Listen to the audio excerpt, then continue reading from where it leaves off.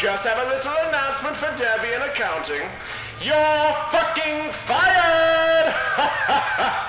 I warned you if I ever caught you snacking at your desk again, getting your filthy spine crumbs all over my glorious computers, yeah. That I would terminate your dumbass. What, you think I wasn't going to catch you?